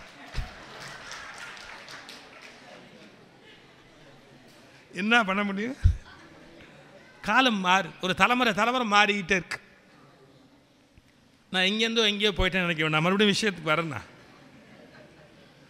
இந்த சரீரம் என்பது மாறிக்கொண்டே இருப்பது ஆன்மா என்பது அழிவில்லாதது அப்படின்னு சொன்னேன். அழிவில்லாத கண்டினியூட்டி ஆன்மா. அதுக்கு என்றைக்கு மாற்றமே கிடையாது. அதுக்கு சேஞ்சே கிடையாது. என்றைக்கு ஒரே தன்மையுடையது. அந்த அழிவற்ற ஆன்மாவை புரிந்து கொள்ள வேணும்னு பகவான் சொல்கிறான் அர்ஜுனுக்கு ஹே அர்ஜுனா ஆன்மாவை புரிஞ்சுக்கூடா. சரீரம் அழியக்கூடியதுடா மாறக்கூடியதுடா. இதை ஏன் பெருசாக எடுத்துக்கிற நீ? அப்படி சொல்லிட்டு ஆன்மாவை பற்றி சில டிஸ்கிரிப்ஷன் சொல்கிறான் பாருங்கள் ஆன்மா எப்படிப்பட்ட தன்மை? முதல்ல ஒன்று தெரிஞ்சுக்கணுங்க. ஆஸ்துமா வேறு ஆன்மா வேறு. சில பேருக்கு ஆஸ்துமாவே ஆன்மாவோட ஒட்டிக்கிட்டு இருக்கும். ஆஸ்துமாங்கிறது உடம்புக்கு வர்ற ஒரு நோய். ஆஸ்துமாங்கிறது உடம்புக்கு வர்ற ஒரு நோய். ஆனால் உடம்பே ஆன்மாவுக்கு ஒரு நோய். உடம்பே ஆன்மாவை பொறுத்தளவில் ஒரு நோய். போதுமா? அது நிலைத்தது. அதுக்கு சொல்கிறேன் பாருங்கள் ஆடைகளை மாற்றுவது மாதிரி அது மாற்றிக்கொள்ளும் சரீரத்தை மாற்றிக்கொள்ளும். நம்ம சின்ன வயசில் போடுற துணி வந்து நஞ்சு போச்சு கிழிஞ்சு போச்சு சின்னதாக போச்சு அப்படின்னா என்ன பண்ணுவோம்? வேற ஒரு ஆடை மாற்றிக்குவோம் அதை களைஞ்சிருவோம். இந்த ஆடை வேண்டாம் அப்படின்னு களைஞ்சுட்டு வேற ஒரு ஆடையை மாற்றிக்குவோம் இல்லை என்ன சிக்கல்னா நமக்கு சின்னதாக போன ஆடையையோ நைந்து போன ஆடையையோ நீங்கள் களையாமல் புதிய ஆடையை உடுத்த முடியாது. உடுத்திக்கிட்டால் பிரயோஜனம் கிடையாது. அதுக்காக என்ன பண்ணுவோம்? பழைய ஆடையை நீக்கிட்டு புதிய ஆடையை நம்ம உடுத்திக்குவோம். அதைத்தான் ஆன்மா செய்யுது. அதற்கு அந்த உடம்பு சரி வரல அப்படின்னா சரி இந்த உடம்பு வேணாம் அப்படின்னு தூக்கி போட்டுட்டு மறுபடியும் ஒரு தாய் கர்ப்பத்தில் போய் உட்காந்து வேற ஒரு உடம்பை எடுத்து அது செய்ய வேண்டிய வேலையை செய்ய ஆரம்பிச்சிருது. நீங்கள் துணி கிழிஞ்சு போச்சுன்னு சொல்லி வேற துணி மாற்றிக்கிட்டா யாராவது அழுவோமா? எவ்வளோ சந்தோஷப்படுவோம் நம்ம? அப்பா பழைய துணி ஒழிஞ்சது புதுசாக ஒரு துணி போடும் புது துணி போட்டால் எல்லாருக்கும் எவ்வளோ சந்தோஷம் இருக்குது எவ்வளோ மகிழ்ச்சியாக இருக்குது சில பேர் சொல்கிறான் வருஷத்துக்கு ஆறு தீபாவளி இருந்தால் பரவாயில்ல. ஏன் ஆறு தீபாவளி இருந்தால் ஜாலி தான் ஆனால் என்ன அப்போ நிலைமை என்ன ஆகும்னா? ஆறு தீபாவளி இருந்தால் பையனுக்கு ஜாலி. அப்பனுக்கு என்ன ஆகுறது நிலைமை? ஒரு தீபாவளிலேயே ஹார்ட் அட்டாக் வருது. ஆறு தீபாவளி கொண்டாடினா அவன் நிலைமை என்ன ஆகும்? ஆடை மாறுது உடம்பு மாற்றுகிறது. அது மாதிரி உடம்பை ஆன்மா மாற்றுகிறது. வேணாம் அப்படின்னு மாற்றுகிறது இதை இந்த கருத்தை அர்ஜுனனுக்கு புரிய வச்சுட்டு சொல்கிறான் பகவான். ஏன்டா இந்த உடம்பு அழியிறது மாறுறது இயற்கை ஆச்சேடா? இதை குறித்து நீ வருந்துவதற்கு என்ன இருக்கு சொல்லு? நீ இவங்களை கொல்லலே அப்படிங்கிறதுக்காக இவர்கள் மரணம் அடையாமே இருந்துட போகிறாங்கன்னு சொன்னால் நியாயம் இருக்குது இப்போ ஒரு வார்த்தை சொல்கிறான் பாருங்க அர்ஜுனா அழியக்கூடிய உடம்பு அழிவதை குறித்து நீ வருந்தினாலும் அர்த்தமில்லை. அழிய முடியாத ஆன்மாவை நீ என்ன மனம் வைத்தாலும் அழிக்க முடியாது. எனவே அது அழியப் போவதில்லை. அழியப் போகாத ஆன்மாவை குறித்து வருந்துவதற்கு எதுவுமில்லை. அழியக்கூடிய உடம்பை குறித்து வருந்தினாலும் அது அழியாமல் இருக்கப் போவதில்லை. எனவே கடமையை செய் காண்டிபத்தை எடு போரை நடத்து. உத்திஷ்ட எழுந்து நில் போராடு அப்படின்னு அந்த வாக்கியத்தை கொடுக்குறான் பகவான் பகவத்கீதையில். உத்திஷ்ட எழுந்து நில் போராடு. எனக்கு லைஃப்பில் வந்து ரொம்ப சோர்வு வருத்தம் ஏதாவது வந்ததுன்னா இந்த வார்த்தையை தான் மனசுக்குள்ளே நான் ஜபம் பண்ணுவேன். திருப்பி திருப்பி சொல்ல உத்திஷ்ட எழுந்து நில் போராட். கீதையில் வர வார்த்தை. நமக்கு எத்தனையோ சோதனை வருது எத்தனையோ துன்பம் வருது. விழிப்படையாமல் நாம் துன்பப்படுறோம். அந்த விழிப்பு ரொம்ப தேவை நமக்கு. சொல்லிட்டு பகவான் சொல்கிறான் ஞானி எதில் விழித்திருக்கிறானோ அதில் உலக மக்கள் உறங்கி கொண்டிருக்கிறார்கள். உலக மக்கள் எதில் உறங்கி கொண்டிருக்கிறார்களோ அதில் ஞானி விழித்திருக்கிறான். ஞானி விழிச்சுட்டான் ஆன்மா வேறு சரீரம் வேறு இது குறித்து மயங்குவதற்கு எதுவும் இல்லை அப்படிங்கிற தெளிவுக்கு போயிட்டான். நீங்கள் பகவத்கீதையில் முதல் அத்தியாயத்துக்கு என்ன பேர் தெரியுங்களா? இப்போ நான் இந்த அந்த முறைப்படி வரேன். அர்ஜுன விஷாத யோகம் அப்படின்னு பேர். அர்ஜுன விஷாத யோகம் அப்படின்னா என்ன அர்த்தம்? விஷாதம்னா குழப்பம்னு அர்த்தம். குழப்பத்தை சொல்லி யோகம்னு சொல்கிறான் குழப்பமே ஒரு யோகம்னு சொல்கிறானே எப்படி சார்? குழப்பம் ஒரு யோகமாகும். கன்ஃபியூஷன் அப்படிங்கிறது ஞானமாகுமா? குழம்பி போயிருக்கிற கன்ஃபியூஷன் எங்கேயாவது ஞானமாகுமான்னா? நீங்கள் குழப்பம்னு ஒன்று வந்தால் தானே சார் தெளிவுனே ஒன்று வரும். குழப்பமே வரலைன்னா என்ன அர்த்தம்? ஒரு வாத்தியார் கிளாஸ் நடத்திட்டு கேட்டா டே ஏதாவது சந்தேகம் இருந்தால் கேள். ஒன்றும் இல்லை சார் ஏன்? எதுவுமே விளங்கலை. ஏதாவது விளங்கியிருந்தாலும் சந்தேகம்னு ஒன்று வரும். குழப்பமே இல்லைன்னா என்ன? ஞானின்னு அர்த்தம். ஒரு மண்ணு விளங்கலைன்னு அர்த்தம். சாரி இது ஒன்று கொஞ்சம் குழப்பமாக இருக்குன்னா ஏதோ மற்றதெல்லாம் விளங்கி இருக்கு இது விளங்கலை அப்படின்ட்டு அதை கிளாரிட்டிக்கு வரலாம். எனவே குழப்பம் என்று ஒன்று வந்தால் தெளிவு பிறப்பதற்கான அடையாளம் அங்கு இருக்கிறது. குழப்பமே இல்லை என்றால் எதுவுமே மண்டக்குள்ள நுழையலைன்னு அர்த்தம். இப்போ அர்ஜுனன் குழம்பிட்டான். கிருஷ்ணா நான் என்னடா பண்ணுவேன்? நான் சண்டை போடுறதா வேண்டாமா? எனக்கு கன்ஃபியூஷன் இருக்குன்னா அதுதான் முதல் அத்தியாயம். அர்ஜுன விஷாத யோகம்னு பேர். இதில் என்ன சொல்கிறான் எனக்கு இதெல்லாம் நான் யுத்தத்துக்கு போக மாட்டேன் என்னை விட்டுவிடு அப்படிங்கிறான். கிருஷ்ணா கட்டாயப்படுத்தி அவனை யுத்தத்தில் இறக்க போகிறான் இப்போ நான் குறுக்க நின்று பேசணும் ஒன்று அவன் தான் யுத்தத்துக்கு போக மாட்டேங்கிறான் விட்டு தொலைக்க வேண்டியதுன்னு சரி என்னமோ பண்ணிட்டு போகிறான் விட்டுட்டு போக வேண்டியதானே அவனை எதுக்கு கிருஷ்ணன் வலுக்கட்டாயமாக இழுத்து யுத்தத்தில் செலுத்தணும்? இதுக்கு ரொம்ப பியூட்டிஃபுல் ரிப்ளை ரஜினிஷ் எழுதுறார். கீதைக்கு விளக்கம் எழுதுகிற போது. ரொம்ப அருமையான ரிப்ளை இந்த அர்ஜுனன் எப்படிப்பட்டவன் அப்படின்னு கேட்டிங்கன்னா இன்னைக்கு சண்டை போட மாட்டேன் அப்படிங்கிறதுக்கு ஒரு இருபது காரணம் சொல்கிறேன் நான் இதனால சண்டை போட மாட்டேன். என்னை விட்டுடு அப்படின்னா நான் பாருங்க. இதை நம்பி இந்த பயலை விட முடியாது. ஏன்னா விட்டுவிட்டா நாளைக்கு வந்து கேட்பா. அட நான் தான் அறியாமல் சொன்னேன். நீ யாரு? என்னை திருத்த வேணாமா அதான் சிக்கல். இதான் சிக்கல். இன்னைக்கு எல்லா பெரியவங்களுக்கும் வீட்டில் இருக்கிற சிக்கலே அதுதான். குழந்தைங்க புத்தியெல்லாம் சொல்கிற போது கேட்கவே மாட்டாங்க. கேட்க மாட்டாங்க. ஆனால் மறுநாள் சொல்லுவாங்க ஆனால் நான் புள்ள அப்படி தான் இருப்பேன் சின்ன புள்ள அறிவில்லாமல் இருப்பேன். நீ சொல்லியிருக்க வேணாமா? காலையில் எந்திரிக்கணும் எழுப்பணும் அப்படின்னு சில குழந்தைங்க சொல்லணும் நாளைக்கு பரீட்சைக்கு படிக்கணும் என்ன ஒரு அஞ்சு மணிக்கு எழுப்பி விடு நாலரை மணிக்கு எழுப்பி விடுன்னு. நீங்கள் எழுப்புனா எந்திரிக்காது. சீப்பே அப்படிங்க சீப்பே அப்படின்னு. காலங்கத்தால் எழுந்துச்சு அதுக்கிட்ட சீப்பான்னு பேர் வாங்குறதுக்காக நம்ம கஷ்டப்படணும். காலங்கத்தால் எழுப்பி சிப்ப தூங்க விட மாட்டேங்கிறிய அப்படின்னு. எல்லாம் பட்டு சரி சனியும் தூங்கட்டும் அதுவா எந்திரிக்கன்னு விட்டு ஏழை முக்காலுக்கு எழுந்த உடனே உனக்கு கொஞ்சமாவது அறிவு இருக்கான்னு எழுப்பியிருக்கணுமா இல்லையா? ஏ உன்னை எழுப்பனே எந்திரிக்கல. எந்திரிக்கலைனாலும் எழுப்ப வேண்டியது உன் கடமை இல்லையா? எந்திரிக்கலைனாலும் எழுப்ப வேண்டியது உன் கடமை இல்லையா? நான் தான் சின்ன பிள்ளை விவரம் இல்லாமல் தூங்கிட்டேன். நீ வளர்ந்துருக்கிறியா? உனக்கு அறிவு வேணா? எப்படி? நமக்கு ஒரு பாடம் எடுத்துங்க. நீங்கள் நான் சொல்கிற போது பல பேர் சிரிக்கல. என்ன தெரியுதுன்னா பல பேர் வீட்டில் இது நடக்குதுன்னு தெரியுது. இல்லை நீங்கள் என்னை என்டார்ஸ் பண்ணி சிரிக்க மாட்டீங்க. அது அந்த சிரிப்பிலே ரெண்டு இருக்குது என்ன நான் கேலியாக சிரிக்கிறது ஒத்துக்கிட்டு சிரிக்கிறது. ரெண்டு வித்தியாசம் இருக்குது நான் எத்தனை மேடை பார்த்துருக்கிறேன்? எனக்கு தெரியாதா? யார் எப்படி இருக்கிறாங்கன்னு தெரியாதா? இது என்டார்ஸ்மெண்ட் லாஃப்டர் அதை ஒத்துக்கிட்டு சிரிக்கிறீங்க. என்னன்னா நூற்றுக்கு தொண்ணூறு வீடு இப்படி தான் நீங்கள் எழுப்பலே அப்படின்னாலும் கோவிச்சுக்கும் எழுப்புலே அப்படின்னாலும் கோவிச்சுக்கும் இப்போ இதே சிக்கல் தான் அர்ஜுனனுக்கு. டேய் போருக்கு போடா அப்படின்னா முடியாதுன்னு இருபது காரணம் சொன்னான் நம்பி நீங்கள் விட்டுட்டீங்கன்னா அவன் என்ன கேட்பான் நான் அப்படி தான் இருப்பேன். நீங்கள் என்னை எப்படி விடலான்னு கேட்பான் நான் அப்படி தான் இருப்பேன். நீ என்னை எப்படி அப்படி விடலாம் நீ ஏன் என்னை யுத்தத்துக்கு அனுப்பலை? எனக்கு ஏன் நீ காரணம் சொல்லலைன்னு கேட்பேன் அதனால வரிஞ்சு கட்டிட்டு இவ்வளோ காரணம் சொல்கிறான் கிருஷ்ணன். சரி. அர்ஜுன விஷாத யோகம் அப்படிங்கிறது முதல் அத்தியாயம் அப்படின்னு சொன்னேன். ரெண்டாவது சாங்கியம். சாங்கியம்னா சடங்குகள். இயல்புகள். உடம்புனா என்ன? ஆன்மானா என்ன? கிளாரிட்டி இன் திங்கிங் முதல்ல அதை உண்டு பண்ணுறான் பகவான். உடம்பு அழியக்கூடியது உயிர் அழிவில்லாதது எனவே அழிவற்ற ஒன்றுக்காக நீ வருந்த வேண்டியதில்லை. அழியக்கூடிய ஒன்றுக்காக நீ வருந்தி ஒன்றும் ஆக போகிறதில்லை இது கண்டிப்பாக நடக்கும்னு தீர்மானமாகி போயிட்டா. அப்புறம் வருந்தி தான் என்ன பண்ணுறது அதுக்காக? ஒன்றும் பிரயோஜனம் இல்லை. வருந்துறத துக்கத்தை தான் மிச்சமே ஒழிய வேறு ஒன்றும் பண்ண முடியாது. அது சாங்கிய யோகம் அப்படின்னு பேர் ரெண்டாவது அத்தியாயம். அப்புறம் மூணாவது அத்தியாயம் கர்ம யோகம்னு பேர். ஆச்சாரியா வினோபா பாவே எழுதுகிறார் மூணாவது அத்தியாயத்திலேருந்து தான் ஆக்சுவலாக கீதையினுடைய ஆன்மா தொடங்குது. கீதையினுடைய இம்பார்ட்டன்ஸ் வாட் இஸ் பகவத்கீதா அப்படிங்கிறது மூணாவது அத்தியாயத்தில் தான் ஆரம்பமாகுது. என்ன மூணாவது அத்தியாயம்? கர்ம யோகம் அப்படின்னு பேர். கர்ம யோகம்னா நாம் செய்கிற காரியத்தை ஏன் செய்யணும்? எதுக்கு செய்யணும்? எப்படி செய்யணும்? இப்போ அர்ஜுனை சண்டை பண்ணணும் அப்படின்னு பகவான் ஏவரான் அவன் பண்ண மாட்டேன் அப்படிங்கிறான். அவன் ஏன் சண்டை போடணும் அப்படிங்கிறதுக்கான அந்த விளக்கங்களை பகவான் கொடுக்குறான். இப்போ நமக்கு என்ன பிரயோஜனம் அதில்? நமக்கு ஒரு பிரயோஜனம் இருக்குது சண்டை போடுறது இல்லை எந்த காரியத்தை செஞ்சாலும் அதை எப்படி செய்யணும்னு புரிய வைக்கிறான். இந்த கர்மயோகங்கிற அத்தியாயத்தில். இப்போ பாருங்க. கர்மம் அப்படின்னா தொழில்னு அர்த்தம். தொழில்னு ஒன்று செய்யாமல் யாராவது உயிர் வாழ முடியுமா? ஒரு தொழில் செய்யாமல் யாராவது சாப்பிட முடியுமா? ஒரு தொழில் செய்யாமல் யாராவது பூமியில் இருக்க முடியுமா? ஏதாவது தொழில் செய்யணும். சார் சில பேர் தொழிலே செய்யாமல் வீட்டை திண்ணையில் உட்காந்துருப்பான் அவன் மனசால் ஊரையே கெடுத்துக்கிட்டு இருப்பான்.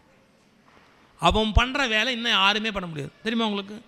மனசால தொழிற்படாதவன் யாராவது இருக்கிறானா? இவன் இப்படி இருக்கிறானே இவன் எப்போ வீணாக போவான்? எப்படி வீணாக போவான்? இதெல்லாம் கொஞ்சம் யோசிச்சுட்டு இருப்பான். அந்த யோசித்தலும் ஒரு தொழில் தான் அது என்ன அலைகளாக வேலை செஞ்சுக்கிட்டே இருக்கும். எனவே தொழிற்படாதவர்கள் அதாவது வேலை செய்யாதவர்கள் என்று யாருமே கிடையாது. ஆனால் நம்ம எப்படி செய்கிறோங்கிறது தான் இங்கே முக்கியம். இந்த இப்போ நான் சொல்ல போகிற பாருங்க கர்ம யோகம் அப்படிங்கிறத உலக அரங்கத்தில் கீதை இங்கே தான் வியக்கிறான். ஏன் வியக்கிறான்னா மேனேஜ்மெண்ட் டெக்னிக் ஒரு விஷயத்தை எப்படி செய்யணும் அப்படிங்கிற சீக்ரெட் அதுக்குள்ளே இருக்கு. இப்போ நான் சாதாரண நிலையிலேருந்து ஆரம்பிக்கிறேன். தினம் ஏதாவது ஒரு வேலை நடந்து தான் ஆகணும். இப்போது காலையில் இன்னைய பொழுது போகுதுன்னு வச்சுங்க பகவத்கீதை தள்ளி வச்சுருங்க நான் லைஃபுக்கு நேராக வரேன். காலையில் எந்திரிச்சதுலேருந்து தூங்குற வரைக்கும் நம்ம வேலை செய்ய முடியுமா? முதல்ல என்ன வேலைன்னா படுக்கையிலேருந்து எந்திரிக்கிறதே ஒரு வேலை. அதுக்கே பல பேர் அழுத்துக்கிறான். தெரியுங்களா உங்களுக்கு? காலங்காத்தால் எந்திரிச்சு அவருக்கு அதுவே கஷ்டமாக இருக்கும் காலங்காத்தால் எந்திரிச்சு நான் சொன்னேன் எந்திரிக்காத போயிடு. நாங்கள் என்ன ஹைகோர்ட்டில் ரிட்டா போட்டோம் இவனை எழுப்பி கொண்டாங்கன்னு ஏதாவது ரிட்டுக்கிட்ட போட்டோமா என்ன? இல்லையே. நிம்மதியாக முடிஞ்சு போச்சு விஷயம். பட்டுன்னு பால் எடுத்துன்னு வந்துடுவோம் மறுநாள் அடுத்த நாள் பால்ன்றுவோம். வெரி சிம்பிள் பேக்கெட் பேக்கெட்டாக பால் விற்கிது எங்களுக்கு. இப்போல்லாம் பஞ்சமே கிடையாது. ஆ இவன் சொல்கிறான் காலம்புரை எந்திரிச்சு அது கழுத்துக்கிறான். இன்னும் சில பேர் சொல்கிறான் என்ன சார் லைஃப்? போர். என்ன போர்? காலையில் எந்திரிச்சு பல்லு தேய்ச்சு. ஐ. அவருக்கு அதுவே கஷ்டமாக இருக்கான். அப்போ ஒன்று பண்ணு காலம்புரை ஒரு பதினாறு பல்லு தேய் சாயங்காலம் வந்து ஒரு பதினாறு பல்லு தேய் யார் வேணான்னா? அப்படி இடைவெளி விட்டு தேய்ச்சா எல்லாரும் இடைவெளி விட்டு நிற்பான் அவ்வளோதானே நீங்கள் நல்லா பேசி பாருங்கள் சொல்லாமல் பாருங்கள் காலையில் எந்திரிச்சு பல்லு தேய்ச்சு. இவ கொடுக்குற காப்பியை குடித்து அங்கே தான் அவன் வேறு ஏதோ ஒரு மனசில் வச்சுருக்கிறான். நமக்கு தெரியுதா? அவன் சொல்கிறான் இவ கொடுக்குற காப்பியை குடிச்சு ஆ? அதே பஸ்ஸில் ஏறி அதே ஆஃபீஸுக்கு போய் டெய்லி ஒரு ஆஃபீஸ் போக முடியுமா? அழுத்துக்கிறான். அதே பஸ்ஸில் ஏறி வெவ்வேறு பஸ்ஸில் ஏறினா எங்கே போகிறது அதே பஸ்ஸில் ஏறி தான் ஆஃபீஸ் போகணும். ஆ? அவன் சொல்கிறான் அதே பஸ்ஸில் ஏறி அதே ஆஃபீஸுக்கு போய் அதே சீட்டில் உட்காந்து அதே கையெழுத்தை போட்டு நீ வேற ஒருத்தன் கையெழுத்தை போடு உன்னை எங்கே கொண்டு போய் வைப்பாங்கிறது அப்புறமா தெரியும். அதே கையெழுத்தை போட்டு அதே சம்பளத்தை வாங்கிட்டு அதே வீட்டுக்கு வர வேண்டியிருக்கு சார் தான் ப்ராப்ளம் அதே வீட்டுக்கு வர வேண்டிய என்ன சார் லைஃப் காலைல எந்திரிச்சு ராத்திரி படுக்கிற வரைக்கும் இதே வேலையாக சார் என்ன சார் லைஃப் இப்படி அழுத்துக்கிறவங்க இருக்கிறான்னு இல்லை இதான் கர்ம யோகம் எப்படின்னு சொல்லி தர போகிறோம் பாருங்கள் நீங்கள் இந்த வேலையை செய்யாமல் இருக்க முடியுமா காலம்பரை எந்திரிக்காமல் இருக்க முடியுமா பள்ளி தைக்காமல் இருக்க முடியுமா காப்பி குடிக்காமல் இருக்க முடியுமா டிஃபன் சாப்பிடாம இருக்க முடியுமா ஆஃபீஸ் போகாமல் இருக்க முடியுமா ஆஃபீஸில் போய் கையெழுத்து போடாமல் இருக்க முடியுமா இல்லை மில்லில் போய் வேலை பார்க்காம இருக்க முடியுமா டிரைவராக போனால் ஓட்டாமல் இருக்க முடியுமா ஒரு வேலையை செய்யணும் ஓ, சாயங்காலம் சம்பளம் கொடுப்பான் வீட்டுக்கு வராமல் இருக்க முடியுமா அழுத்துக்கிறான் நம்ம எந்திரிச்சு பல்லு தேய்ச்சி சாப்பிட்டு ஆஃபீஸ் போயிட்டு வீட்டுக்கு வர்றது இவருக்கு அலுப்பாக இருக்குது யாருக்கு இவனுக்கு இன்னும் சில பேர் சொல்லுவான் பெருமையாக கேட்டுறீங்களா எனக்கு இருக்கிற திறமைக்கு நான் எங்கேயோ இருக்கணும். எங்கே இருக்கணும்? நீ உள்ளே இருக்கணும். வெளியில் இருக்கிறது பெரிய சமாச்சாரம். சொல்கிறான் எனக்கு இருக்கிற திறமைக்கு நான் எங்கேயோ இருக்கணும். என் லைஃப் இப்படி வந்து மாட்டிக்கிட்டேன். சரி இவன் கதை இது. சரி இவன் ஏதோ மாட்டிக்கிட்டான். இவன் வேலை செய்கிறதுக்கு அழுத்துக்கிறான் இவன். வீட்டில் ஒரு அம்மா உட்காந்துருக்கு அதுக்கு என்ன குறைச்சல்? எட்டரை மணிக்கு பிள்ளைகளையும் இவனையும் ஆஃபீஸுக்கும் ஃபேக்ட்ரிக்கும் வெளியே தள்ளிட்டா பயங்கர நிம்மதி. ஏன்? நம்மை பிடித்த பிசாசுகள் போயின்னு நன்மை கண்டோம் என்று கும்மியடின்னு பாரதி பாடினா பாருங்க. புருஷனும் பிள்ளைங்களும் ஸ்கூலுக்கும் ஆஃபீஸுக்கு பரப்புற போது இந்த விடுதலை கும்மியை பாடிக்கிட்டு உட்காந்துருப்பாங்க நம்மை பிடித்த பிசாசுகள் போயின்னு நன்மை கண்டோம் என்று கும்மியடி பாரதியார் பாட்டு பாடுறதுக்கு நல்ல கரெக்டு நேரம் பார்த்து எல்லாரையும் அனுப்பிச்சாச்சு. எட்டே முக்கால் மணிக்கு இந்த குட்டி பிசாச்சு நாய் வண்டியில் ஏறி ஸ்கூலுக்கு போயிடுச்சு. எட்டே முக்கால் மணிக்கு. பெரிய பிசாசு ஸ்கூட்டர் எடுத்துன்னு ஆஃபீஸ் போயிடுச்சு. இது ஒன்று மட்டும்தான் உட்காந்துருக்கு வீட்டில் என்னன்னா Sun TV Raj TV Jaya TV Star Vijay மருமக மாமியார் அண்ணி நாத்தனார் அக்கா தங்கச்சி மாற்றி மாற்றி வராளுங்க. யாராவது ஒருத்தி வராமல் இருக்கிறாளா? எவ்வளவு அண்ணி வரா மருமக வரா மாமியார் வரா நாத்தனார் வரா விட்டா சித்தி வரா பெரியம்மா வரா பாட்டி வரா?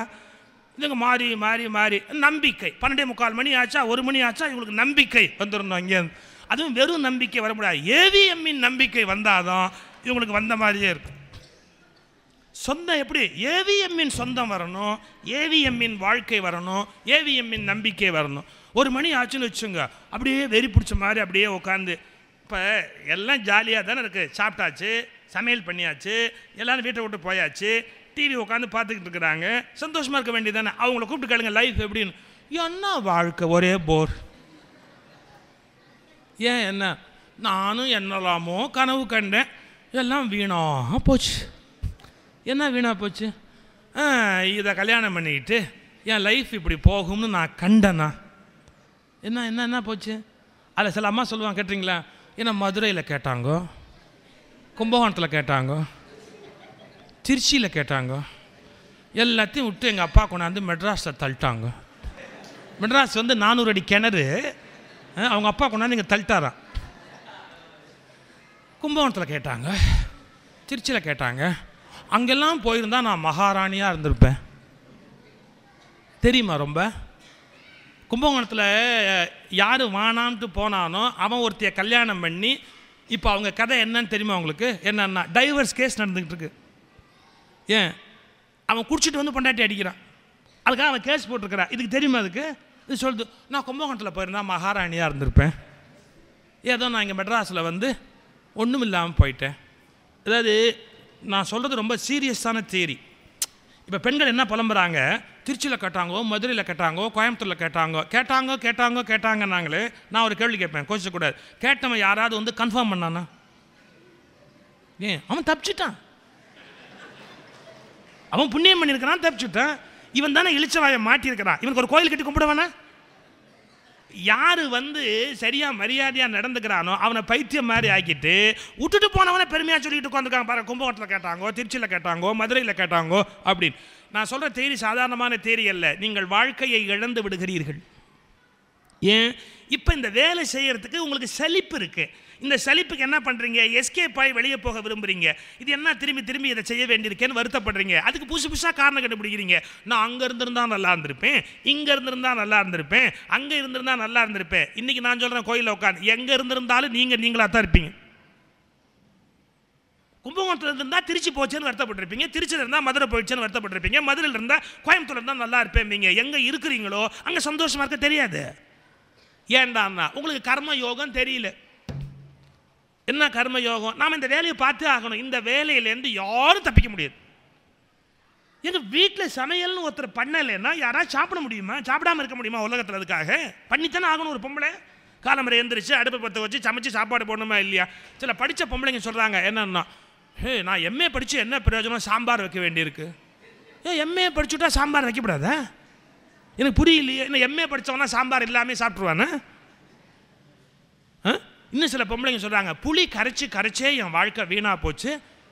புளியே கரைக்கலன்னா என்ன பண்ணலான்னு நினைக்கிறீங்க? புளி கரைக்காமல் சாம்பார் ரசமாக எப்படிங்க வைக்கிறது நாங்கள் அதாவது ஒரு மாயையில் இருக்கிறாங்க. என்னென்னா நாம் படிச்சுட்டவங்க வேலைக்கு போயிருந்தா நல்லா இருந்திருக்கும். இப்போ ஹவுஸ் ஒய்ஃபாக இருந்து நம்ம லைஃப் வீணாக போ தயவு செய்து இந்த மாதிரி நீங்கள் தப்பாக எதை செய்கிறீங்களோ அதை ஆர்வமாக செய்யுங்க.